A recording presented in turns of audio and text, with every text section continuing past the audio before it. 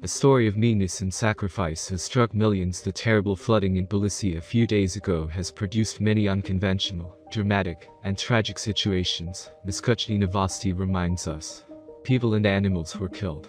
Predators were shot right in the streets of the city. Women, children, the elderly were removed by cars and watercrafts from the flooded premises. A place among the heroic rescuers was found not only for people, there was also a report of this big, wet and tired dog, who did what he was once taught by those who then betrayed him humans.